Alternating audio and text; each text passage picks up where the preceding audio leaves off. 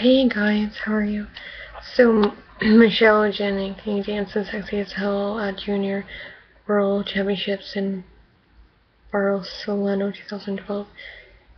And I believe it's the Olympics or something. I haven't looked into it because I still want to review that stuff eventually.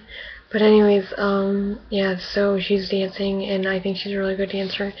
I think she's just nervous. People do kind of uh, nervous things like that before they you know, uh, I don't know, like do what they want when before they perform. They do stuff like that. But anyways, so she looks good, and I can't believe she won. But um, she's really athletic and a good uh, athlete, and she did a really good job. And I really do enjoy her dancing. I need to learn from her